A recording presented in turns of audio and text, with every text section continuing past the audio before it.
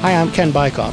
The Hoosiers allowed an all but certain win to turn into a crippling defeat in a 66 65 loss to Penn State, a defeat that was a killer for IU's NCAA tournament chances. Indiana allowed an 11 point lead to evaporate in the final 319 at home by committing five turnovers in that span and struggling to so much as get the ball in bounds. After the game, head coach Tom Crean didn't offer any excuses. The turnovers, we've got, there's, there's no excuse, and, and, and I'd like to get, I'd like to, I'd like to, uh, I'd like to say, you know what?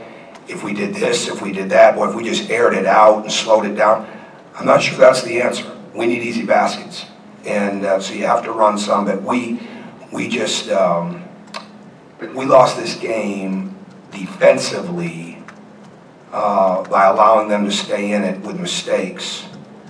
And then the pressure of the game got to us a little bit.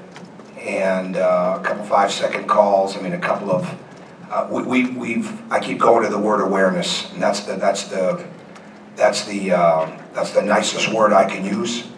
And that's what we've got to continue to coach, and we'll be right back at it, as I said to these guys.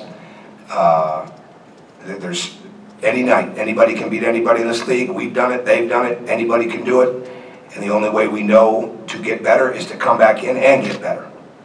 And so it'll be, um, that, that's, that's all we can do. Next up for Indiana is a trip to Purdue, a road tilt that will be a test of IU's resilience following such a tough loss for the Hoosiers. For Campus Insiders, I'm Ken Bikoff.